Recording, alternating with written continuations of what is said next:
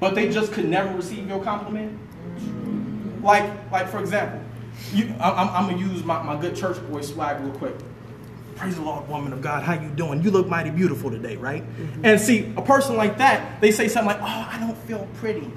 I don't, mm, I don't feel it." And you know what? So there's nothing more discouraging to somebody who wants to build a relationship than talking to somebody who doesn't believe in them, believe in themselves. You know, it, thank, thank you. I appreciate that. It's hard to build something with somebody who does not even believe that they are attractive themselves. And see, here's the thing you must understand. When you give off signs of low self-esteem, you put yourself in a position to be a victim. Because there are people who prey on people. Who, you know, oh, you, you're, you're truly pretty. And you, oh, I don't, I don't, I don't think so. I've met women who are beautiful. I'm just be honest with you. I thought they were beautiful, and I told them they were beautiful, and by the time they explained to me how they're not beautiful, I didn't think they were beautiful. I said, you know what? You can have it. God bless you. Stay single. because, you, because you're wearing your love off. So that's that's the first first example of love off. The second example of love off is this. I don't know if you all do this in California, but in, in Atlanta, there are women I don't understand why they do this. They post, uh, you know, post about wanting to be in a relationship. They talk about it all the time. But they have a ring that they buy, that they put on their ring finger, and they wear it around. Not that they're married or engaged, but that is their leave me alone ring. Maybe y'all haven't seen it. Mm-hmm. I know people who do. And the purpose of the leave me alone ring is when I come around, if I'm not in the mood, if you see the ring, you're not going to talk to me. And here's the thing that you got to understand about that. You're going to fool around and see the person that you really like.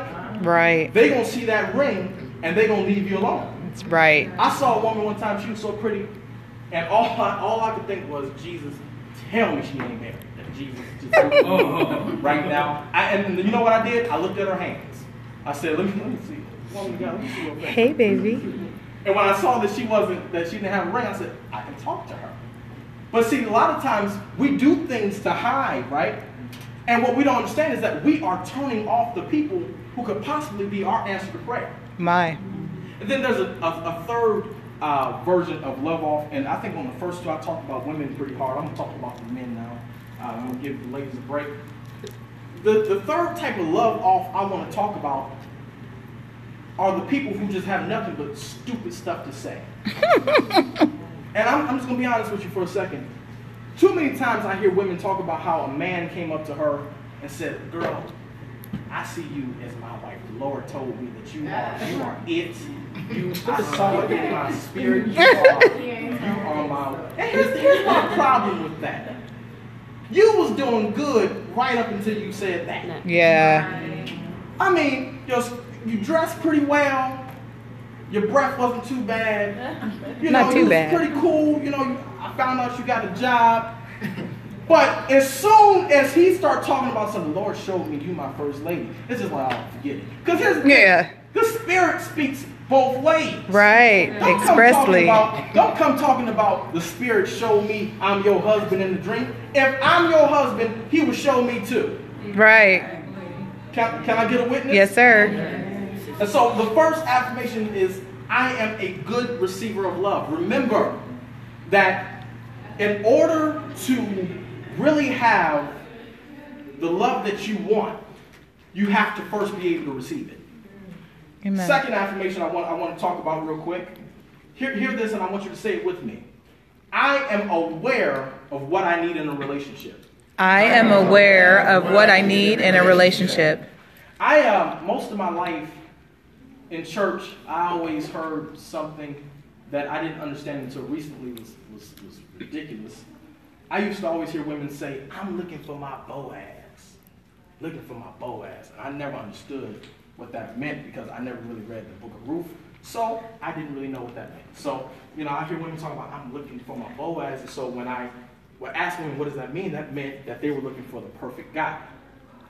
And my brother wrote a book mm-hmm. by, by the name of Boaz's Dad. My brother's Elder Martin He's McGregor. I believe he's preached for a few of those conferences.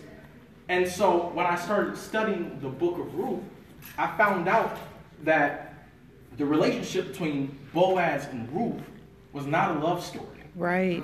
It was a business deal. My. You know, and when I start looking at the details of, of the story, I found out first off, Ruth said nicer things to her mother in law than she said to her husband. Right. If you read it, uh, when, when um, Naomi's husband died and, and the daughters, I mean, the sons of, of her daughter in laws died, um, Ruth said to Naomi, she said, Doesn't he look Where you go, I'm going. Your people will be my people. Where you die, I'll die. If you read the whole book, she never said any of that to Boaz. No. For those of you who don't know the story of Boaz and Ruth, I'm going to tell you real quick. So, Naomi was the mother in law of Ruth. Naomi lost her husband, Ruth lost her husband. After both husbands died, Naomi told Ruth, she said, Hey, listen, let's go back to, um, she said, Matter of fact, I want you to go back to the land of your mother. I want you to leave me um, and just go on. I'll be fine. I'll take care of myself.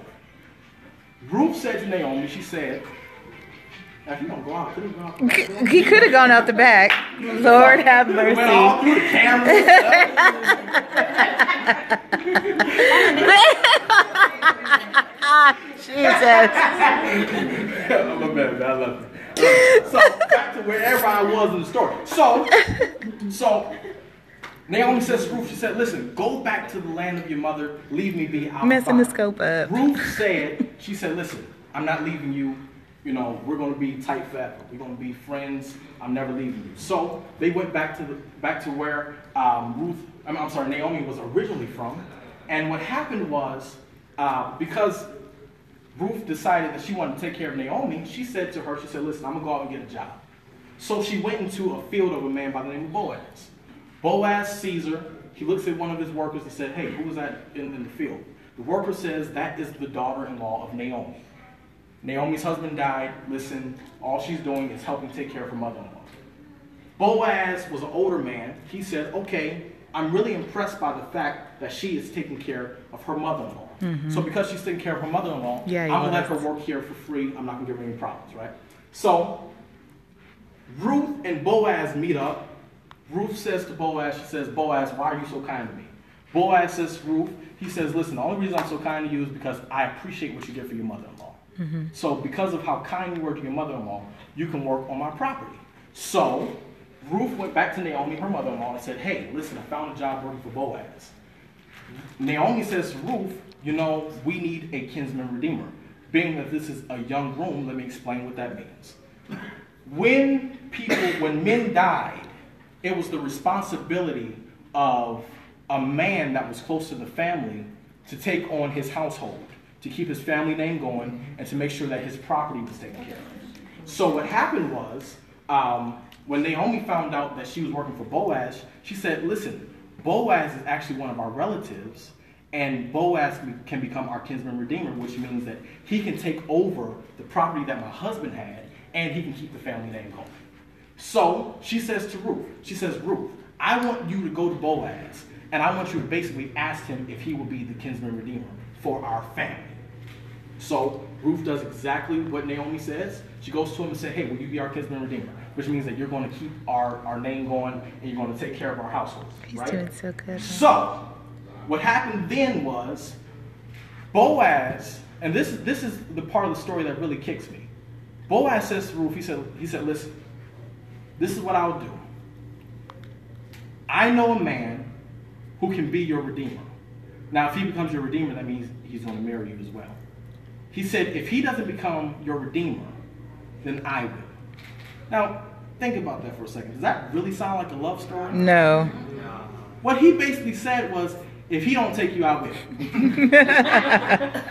I'm, listen, I, I- I told you the Bible story. Let me put it in terms that we understand. If he don't take you to lunch, I got you. Right. If he don't take you to the movies to see Central Intelligence, mm. I got you. Right. If he don't take you bowling, I got you. And so the next day rolls around, and um, Boaz finds the man that he was talking about. He says, Hey, man, come here. I want to talk to you real quick. He said, You know, um, Ruth and Naomi, listen, they need a redeemer for their property. Will you be that guy? My man says, I'll do it. So after he says he'll do it, Boaz explains to him, he says, Look, for you to do this, that means that you will also have to marry Ruth. My man says, I ain't down with that because if I marry Ruth, that'll mess up some business that I have coming to me. So because of that, Boaz says, All right, I'll be the redeemer. At, the, at this part of the story, if you look at it in the Bible, there was no celebration. There was no crazy thing where, where, where Ruth was standing at the door like, Boaz, my redeemer, thank you for redeeming me. it was none of that. There was no, Yay. there was no, um, you know, it was no argument about why he said that somebody else could redeem her instead of him. It was none of that because this was a business deal. This was not a romantic love story. This was business. So, with that being said, I felt that I needed to first help you understand that there is a difference between saying, I'm looking for my Boaz. Right. Because Boaz is really not what you want. Boaz was oh old. Why do you want an old man? Really? Will. Okay. Hmm. But I want to talk about a man in the Bible who every single woman should want a man like him, and every man should want a woman who has the heart of him.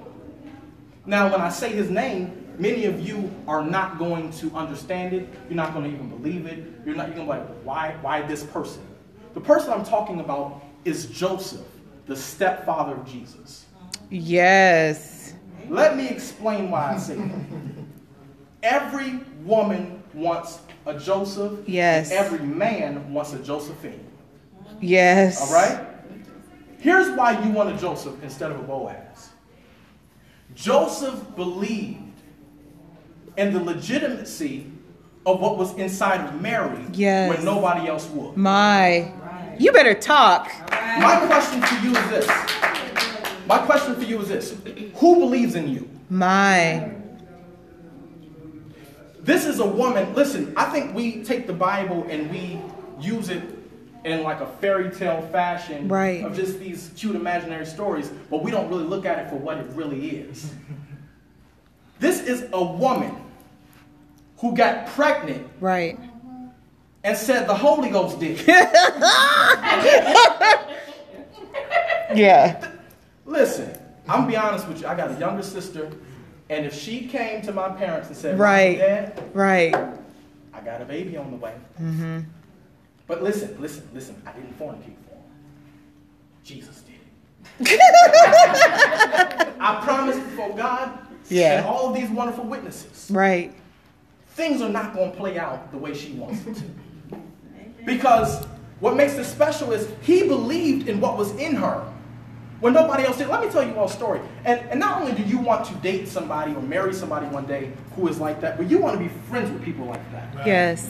Um, I remember last year I told my family, I said, listen, um, early, early last year, I, I went to my family and said, listen, I found my passion in life. I love motivational speaking. I love to speak. I love to give people a reason to live. I love to inspire people.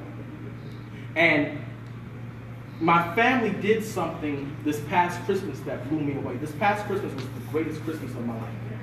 And I'm going to tell you why. Number one, I have three living grandparents. The youngest of the three is 90 years old. Wow. All three of them were- at my parents' house for Christmas.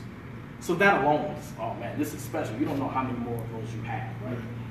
And so, and the second reason why the past Christmas was the best ever was because my mother, my father, and my brother, they bought me what I consider to be prophetic gifts. And what do I mean when I say that? When they presented the gift to me, and by the way, my sister got me a wonderful gift as well. But when they presented the gift to me, they expressed what the purpose of that gift was. They said, my mother gave me a, uh, a brand new MacBook computer for Christmas. She said, listen, I want you to have this computer because you're going to be traveling. And Yeah. you need something to write your speeches on. Yes. And so because of where you're going, My. I want you to have something that you can write your next book on. Yes. See, I already wrote a book. But let me, let me tell you something. When you have a dream, you have something that you want to do, you will do it on whatever you can find. Right. I wrote my first book on a borrowed computer. And so because of that, my mother said, here's a brand new computer. Because of where you're going, you need this. So my dad popped up. He said, oh yeah. And um, hey son, your mom got you that computer. Here's a nice coach book bag that you can carry your computer in because you're, you're going to be traveling, you're going to be speaking, and you need to look like you got something. Yeah. And then, a little later on, my, my father presented me another gift. He said, Son, this is a travel bag. He said, I want you to put all your clothes in this so that when you go, you can travel and you, you know, you don't have to look raggedy. You look like somebody. Mm-hmm. And then my brother, he presented me a box. And um, they didn't they didn't plan this. It just it was weird how it just happened. He gave me a box.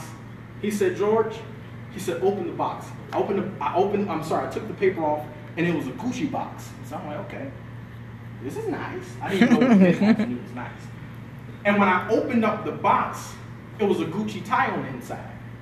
And he said, George, that is a very expensive tie. He said, let me tell you something about that tie. He said, because of where you're going, when you have a photo shoot, I want you to wear that tie. Yeah. He said, when you go to big places to speak and inspire people, I want you to wear that tie. He said, because I believe in you so much that I'm buying you something that symbolizes where you're going. Now, the truth of the matter is, at this time, when they bought these, what I consider to be prophetic gifts, I didn't have no uh, travel dates on the calendar. Wow. I didn't have no, no photo shoots. Right. I didn't have anything that these gifts represented. But see, the thing that you got to understand is that you want to be in relationships with people who believe in the craziness of your dream. Yes. Because if your dream is not crazy, it's not a good dream. So that's the first thing that we learn from, jo- learn from Joseph. The second thing we learn from Joseph is this. We learn, the Bible teaches us that Joseph didn't know Mary. Okay, for those of you who don't know what that means, that means they didn't have sex until Jesus was born. Now, we know that they didn't have sex before Jesus was born because Bible says that she was, was the virgin birth. Right. So, okay.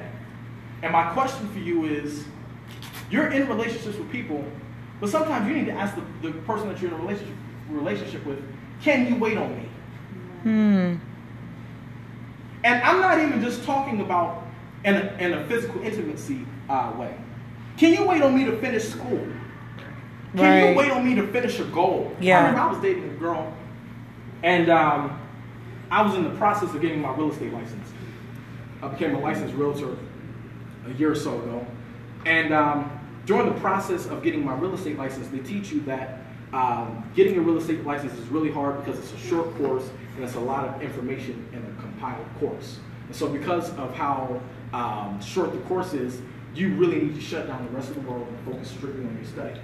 So, for the few weeks that I was in this course to get my real estate license, I um, I was being bugged because this girl wanted to take up all my time that I needed to be using studying. Mm. I had work to do. She knew how important this was to me. And she would call me, like, what you doing? I'm like, I'm studying. You know what I'm doing. I told you yesterday, I'm studying all day. She's like, so you want to go to the movies? It's like everything I told you in one ear and right out the other. I, I told her, I said, listen, I have no time to hang out. She did not have the discipline to wait on me to finish. Right. And because she couldn't wait, our relationship couldn't last. Talk about it. honest with you. So the first thing we learn from Joseph is that he believed in the legitimacy of what she was carrying when nobody else did. He Mm-hmm. believed in her. Two, he was willing to wait. And the third thing I love about Joseph is that Joseph had backbone. Hmm. Now let me explain that. See, when you look at the Holy Family, which is Jesus and his, his family members, I'm gonna, let, me, let me say this. My father taught me that in a relationship, you have a picture and you have a frame. He said that the person who is the star of the relationship is the picture, and the other person who supports them is the frame. Hmm. Usually, when we think of a picture in the frame, we think of a father and a mother, right? Hmm. But in this situation, The picture in this family was Jesus. He's I only think we can, I think we can agree that Jesus was the picture of the family. He was the star of the show. Yes. According to how we talk about the story, Mary was the friend. Right. She birthed him, she supported him, she was that, that anchor. But what was Joseph? Hmm. You know what Joseph was? Joseph was that little kickstand mm-hmm. at the back of all picture frames mm-hmm. that hold the picture up. Yeah. That was Joseph. Yes. He was so secure in himself Mm. that he was willing to make sacrifices That's so good. that the will of God could be That's done good. through Jesus. Talk about. Say it again. And, and, and here's where I'm, I'm, I, I want to show you the backbone that Joseph had. When Jesus was born, the king he made a decree that all young boys were going to be killed. So um, an angel came to Joseph. The angel didn't come to Mary. Right. Mm, mm, mm, right. Jesus' first miracle was not that he heard from an angel as a baby. The angel came to Joseph My. and said, Take your family to Egypt because that's where they can be protected. Mm-hmm. So, you know what Joseph did? He said, Hey, come on, get the baby, let's go. He took his family, they went to Egypt. See, we give Mary credit for everything, Right. but if it wasn't for Joseph, That's Jesus good. would not have became That's what so he good. became. One, he probably wouldn't have survived. Right. But two, here's what people tend to forget Joseph was a carpenter. Yes. Do you all know what Jesus was before he started preaching? A carpenter. He was a carpenter, mm-hmm. which means that he influenced Yes. the King of Kings. Yes. Are y'all hearing what I'm saying? Mm-hmm. Yeah. And so you want somebody who, one, believes in you, mm-hmm. two, will wait on you, and three, has backbone and enough strength to be able to lead you Yes. when you need to be led and can hear from God. So, the affirmation, let's say it again. Uh, I, wh- wh- which one was it? Let me see, let me see, let me see, let me see. Uh, uh, uh, yes, ma'am. I am aware of what I need in a relationship. Say that for me. I am aware of what I need in a relationship. Next affirmation is this I am winning in a losing world. I am winning in a losing world. I'm gonna be honest with you all. Um, I've experienced an emotion lately that I've, I really haven't really experienced much in my life. I'll be honest with you all. I've been scared, Hmm. And the reason I've been scared is because they are killing black men Yes. for nothing. For sport. Thank you. All lives matter. Please understand me. Believe me. I love everybody. Black people, white people, Mexican people, no matter who you are, I love you. You're my family.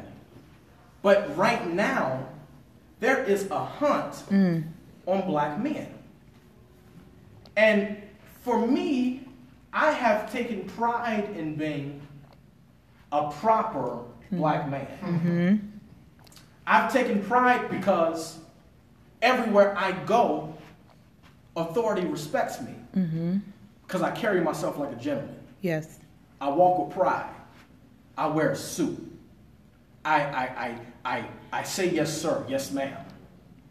But I recently learned that you can be obedient and still get killed. My.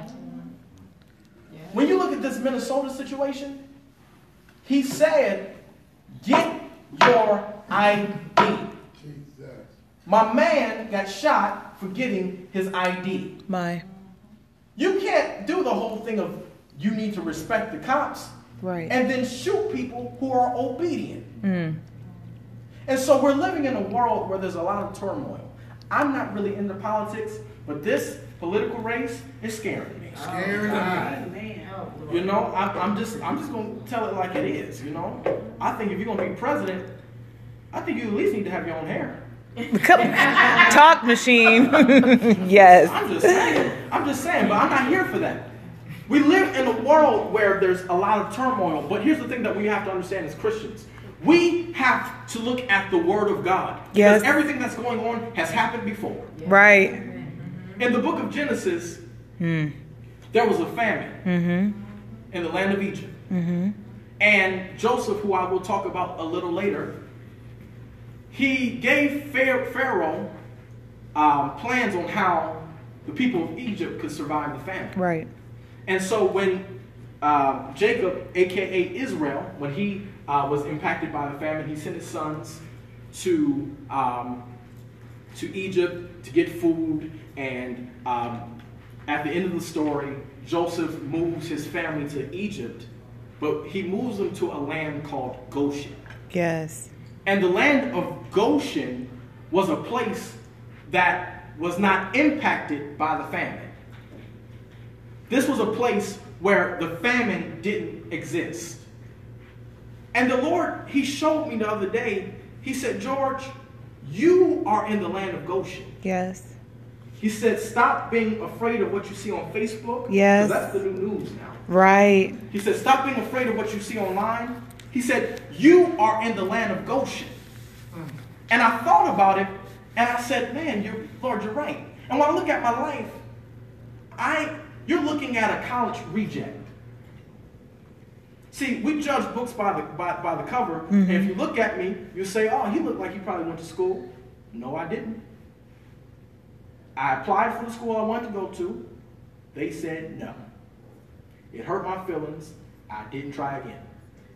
My. You can laugh, but it's the truth. Mhm. I said to myself, college isn't for me. This is before I became a motivator, before I found my purpose. I was like, cool, no college for me.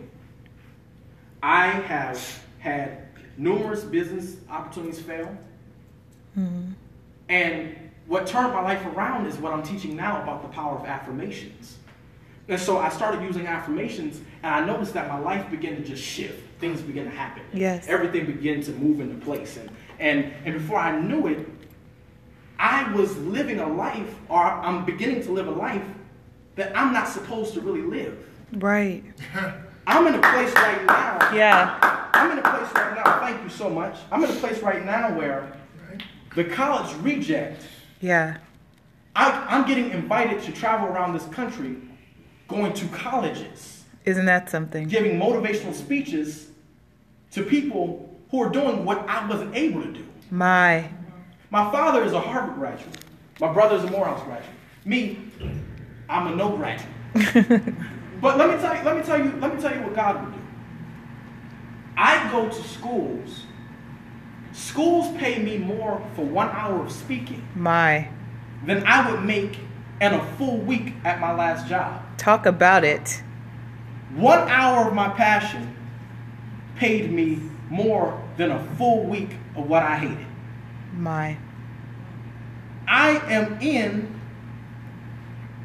my land of Goshen. Yes, you are. Listen, listen. Right now, my manager is here and she can, she can tell you I'm telling the truth. I am in negotiations with $2 billion companies who are looking to partner with me to help me take my motivational vision to the world. My. The college reject. Mm-hmm. Are y'all hearing what I'm saying? Talk, sir. And so, what we have to understand is that God can take you Yes. and He can hide you in such a way where you don't have to worry about what what- yes, what God. that's going on. You don't have to worry about that. I was on I was on a plane today, and um, the the the uh, the uh, this is what I noticed, and y'all got to go with me for a second.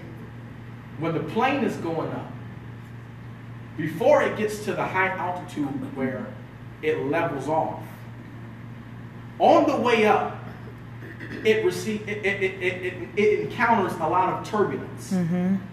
The plane shakes. Right. And what you have to understand is that on your way up, Mm. the journey is not going to be easy. No. It's going to shake. Things are going to be uncomfortable. You're going to find out that before you're winning, you're going to be scared. But soon, I noticed that the plane leveled off. Now, here's the thing that you have to understand. Remember, I told you I'm in my land of Goshen. I'm not worried about nothing. I'm not worried about being hurt. I'm not worried about poverty. I'm not worried about none of that. The lady that I was sitting next to while the plane was shaking, she said, I don't like this plane shaking. That makes me nervous. And I looked over at her and without blinking my eye, I said, Listen, this plane can't go down. I'm on it. That's right. Y'all hearing what I'm saying? Yes. I said, This plane ain't going down. I, I'm on this plane. Uh huh. And when you understand who you are, mm-hmm. you expect to win. All right. Are y'all hearing what I'm saying? Now y'all know me. I know you now. We cool. So y'all can talk back to me when I talk to y'all. Y'all know what I'm saying? Yes. Amen. Yes. When you are in your when you are in your season, you don't have to worry about these things. So the affirmation again: I am winning in a losing world. I am winning in a losing world. Next affirmation, since we're talking to singles, I am dating on the level that I am going. I am dating on the level that I am going. Last week I was uh, speaking and doing a lot of different stuff in Memphis, Tennessee. I spoke, played drums, sung. I was at a convention last week in Memphis, and uh, I got on on an elevator that was crowded. Now I personally hate crowded elevators. It's not that I'm claustrophobic, but I just don't like it. So I got on the elevator, and the only thing worse than being on a crowded elevator is having a room on one of the top floors. Right. Because that means your ride is going to be long. So I squeezed on the elevator, I hit the 10th floor button, and um, what I noticed is that as we went from floor to floor, more and more people start to get off. Mm-hmm. And as more and more people begin to get off, Yes. the more comfortable the ride got. Right. Mm-hmm. By the time we got to the 10th floor where I was standing, it was only me and one other person. Mm-hmm. Which means that when I got on, it was crowded and uncomfortable. Mm-hmm. By the time we got to my floor, mm-hmm. it was perfectly comfortable. What is the revelation of that? Hear this. As you are going up in life, when you get to the top, there's going to be less people on the top I know it's right. than at the bottom when you start. Yes. Y'all hear what I'm saying? When you get, as you rise, there's going to be less people on your rise than there was when you first got started. Come on. And here's the thing I'm not talking to a room of losers or defeated people. Everybody in here, you're a king and a queen. Yes. And as you rise, as you rise, what you're going to find out is that as you grow, your taste is going to grow, Yes. your speech is going to grow, Yes. the way you dress is going to grow. Yes. And sometimes we're with people who are not growing with us. Mm-hmm. See, sometimes we're with people who can handle our now, but they mm. can't handle our next. Come on. You hear what I'm saying? We are with people who can handle our now, but not handle our next. Mm. If you know the story of our president, President Barack Obama, and his wife, First Lady Michelle Obama, you will actually find out that Michelle Obama, when they met, she was more successful than he mm-hmm. was. Mm-hmm. Matter of fact, if I can take it a step further, he started working for her, mm-hmm. our commander in chief. Right. But what happened was he linked up with somebody who was more serious or just as serious about growing as he was. Right. And because of that, they, they met each other at the top. Yes. Let's say that affirmation again. I am dating people on the level that I'm going. I am dating people on the level that I am going. Next affirmation, say this. I am comfortable in my own skin. I am comfortable in my own skin. I um this, this affirmation to me is, is kind of funny because what I found out is that the most attractive thing that anybody could have is confidence. Confidence is the most attractive thing that anyone can have. And when you don't have confidence, you find out that you envy people who have what you don't have because you see that people like that. Yes. So what you do is you spend your time and you spend your life trying to be like them. As soon as you get like them, you find out that there's somebody else who doesn't have what they have, but mm-hmm. people seem to like them too. Mm-hmm. I'm gonna give you an example. As a man, sometimes I hear women say, "Thank you so much." Ooh, I like them dark. so being that I ain't that dark, I'm feeling kind of bad, so I go out in the sun and I just be like, "Shine on me," you know, give me some more melanin, you know, get come on, I want to get darker. And so as soon as my goal was to become darker, mm-hmm. then another woman says, you know, I like them with muscles. So I sit back, okay, she likes them dark. She likes them with muscles, so I'm over here doing push-ups. I'm, what, like, you know, I'm doing my push-ups, I'm getting my muscles up, and before you know it, y'all not gonna believe this one. But then I hear some women say, I like them chubby. Ah! I, I like a man with some meat on his bone. Will. You know, I, you know, I, I follow Rick Ross on Instagram, and I see some of the comments he gets on pictures. I'm like, man, I need to eat some more chicken. I mean, I'm going to sleep with some milk and cookies, and ice cream tonight. And then, then, then, then, I hear another woman say, I like them tall. And I'm like, yes, because I'm at least 6'1, so I'm straight. I'm, I'm good. And I feel good about myself all the way up until Prince died. And then I found out that all these women were in love with the purple one. And Prince was nothing but about 4'8 with heels on. Four eight. So now I'm wishing I'm short. The problem is this mm. you have to be comfortable in your own skin. yes. Because until you're comfort- comfortable in your own skin, you're going to think everybody else is perfect but yourself. Right. And so what happens is we have a group of people who are making changes to themselves mm. to impress other people, but it's not something that, that, that they really want for themselves. See, if you're going to make a change to yourself, it should be to enhance the quality of your life Yes. not to impress other people. Because when you find your confidence in yourself, there are people who are picked out and selected to like your type. Yes. There are people who like your type. But what turns them off is the fact that you, You don't like your type. Y'all hear what I'm saying? So let's say that again. Let's say that again. I am comfortable in my own skin. I am comfortable in my own skin. All right. Next one. I am not too old. I am not too young. I am just right. I am not too old. I am not too young. I am just right. Exactly. This reminds me of the story of Goldilocks and Three Bears when she went into the house and she saw the, the, um, the porridge. And when she tasted the porridge from the big bear, she said, That's too hot. When she tasted the porridge from the medium sized bear, she said, That's too cold. When she tasted the porridge from the baby bear, she said, That's just right. I flew all the way from Atlanta, Georgia, just to tell you that you are just right. Amen. Amen. See, here's the thing. We have, especially in the church, we have a timeline for when we want God to do certain things in our life. My. Talk about it. Can I be honest with you? Yes, sir. By a certain time in your life, you want to be married, Right. have children, Right. have this car, Right. have this house, Uh huh.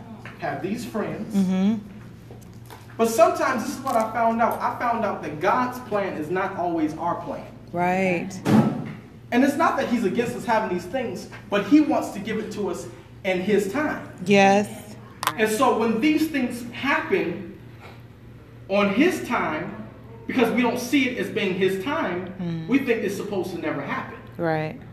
And so there are some people who, um, I'm, matter of fact, I'm, I'm going to tell you the story. In 2007, Tyler Perry put out um, a movie called um, Daddy's Little Girl, starring Idris Elba and Gabrielle Union. One of my favorite scenes of this movie was when Gabrielle Union was set up on a date with this gentleman, and they went to a very nice restaurant. And it was a restaurant that he's never been to. See, he was used to the fish fry shack, but they went to a restaurant that, you know, has multiple forks and multiple spoons. It was a really nice restaurant. And so he um he said, So what you do? And she said, I'm a lawyer. And he says to her, he says, So you make good money, so you got this, right? And so she's like, Oh God, I can't do this. I can't do this. I can't do this. I can't do this. So she asked him, she said, So what do you do? And his, his reply to her is, I'm a rapper. when she got back with her friends, she said, I can't be with him. He's a 40 year old rapper. now, after this, I started seeing jokes that said things along the lines Forty of, percent. you know, you can't, um, or how, how did they say? it? They said, never give up on your dreams unless you want to be a rapper over the age of 30 something. Wow. And that bothered me because everybody was laughing. But there are people who are older who have giftings that they don't want to unlock because they feel like they're too old. My. Some of you, as I look at, look at this room, there's people who are really young, there are people who are just a little bit more seasoned. And some of you, you have given up on your dreams because you feel like you're too old. Hmm. Some of you have given up on the idea of marriage because if it hasn't happened yet, it's not going to happen. Wow. And what I'm here to tell you is that you were just right. Some of us were young, and and, and the thing is, I um Yeah, I, he didn't uh, call us old. I always ha- ha- thought it was funny because I would go to an old woman. I'm like, hey, you know, what's up? How you doing? And she'd be like, oh, you too young. And that used to hurt my feelings. like, Rachel, why you shut gonna tell me I'm too young? you know, why I, why I gotta be Seasoned salt. too young? And you know what? Confidence rose up in me. And when they would start saying you too young, I said, no, I ain't too young. You just too old.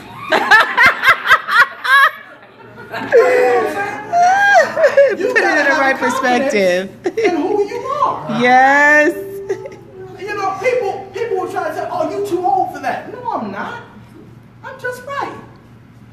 You too young. No, I'm not. You missing out. Not me. Right. Let's say that again. I'm not too old. I'm not too young. I'm just right. I'm not too old. I'm not too young. I am just right. All right. This next one is a tough one for me because I'm about to make a confession that I've never made publicly. I'm about to tell you all something that I've never told a group of people in my life. This is very serious. This is, I'm, I'm really stepping out of my comfort zone this. I am keeping myself while I wait. Ooh, I am keeping myself while I wait. I um, I never, I never, I never told anybody this because for most of my life, I was ashamed of it. I was ashamed because I, I thought that I wasn't cool unless I went down a certain route. Right. I'm 23 years old, and I'm proud to tell you all that I'm still a virgin. Amen. Amen. Y'all better clap it up for that. I'm not, I'm not married, and I'm still a virgin. Amen. Yes. Now here's the thing. Here's the thing. Growing up, I always thought that, that was uh, something weird. Like, oh my God, man. And this is what I did. I'll be honest with you. all. This is what I did. I told God, I said, Lord, I'm gonna give you until a certain age. Once I get to this age, if I'm not married, I'm messing up. Wow. Do I have a witness in the back? Yeah, I did that. I told God that. I, I told him that. I told him, I said, Lord, if you don't give, see, let me tell you something. I might be from Atlanta, but I show ain't gay. I know that's right. You know, you feel me? And so, as a man, we take pride, I'm just gonna be honest with you, we take pride in conquering women. Mhm. That's what men do. right. I told God, I said, look, I'm giving you until a certain age. If you don't do it, I'm messing up. You never want to blackmail God. No. You never want to tell God what you're going to do if He doesn't do something. Ooh wee. Because here's the thing He's stronger than you, Yes. He can wait longer than you. Oh yes. He, he He's not fazed by what you say you're going to do if He mm. don't do what you tell Him He's going to do. I met a woman one time and she said, I'm turning such and such age next year. She said, Lord, don't give me a husband. I'm messing up. I, I, I looked at her, I thought about it. I said, You know he hear you, right? so you mean to tell me God's gonna listen to you talk about something I'm gonna mess up if you don't give me a mate. And he's gonna be like, oh, let me get her a mate real quick. no. That ain't how it works. That's, that's unfortunately, I'm sorry, but that's not how it works. So pe- people come, and whenever I tell somebody this in person, they ask me questions like, "So how is it? How you, you know? How do you feel?" I'm miserable. Wait a minute. I'm sorry. Did, did I say something that offended you? No, See, no. Because the thing is, we're not real about our walk with Christ. Come on. Right. We don't tell the truth. Come on. Oh, we just make it like, oh, all you gotta do is pray, mm. fast, and stay in your word. Listen, I prayed, Yeah. I got my word, and she was still cute. you see what I'm saying? And Yes. so what happened is, what happened is, God showed me something. He, it, it- it- I mean, it was crazy. I promised God. I said, Lord, I said, I'm going to wait until you give me my spouse. And I told God, I said, if you never do it, Yes. heaven is more important Yes. Yes. than the pleasure of my flesh. Ooh. God. Thank you, Jesus. And until we get to that point, we're not going to make it. I know it's right. We're not going to make it. So I told him, I said, Lord, I'm going to hold on. And so the Lord gave, He showed me something. He said, anything that makes you miserable should make you money. Mm. I'm going to say that again. Anything that makes you miserable should make you money. Which means that if you're miserable and you're not making money, you're playing the game wrong. The game is playing you. The game is playing you. Gee, wow. Which means this. Which means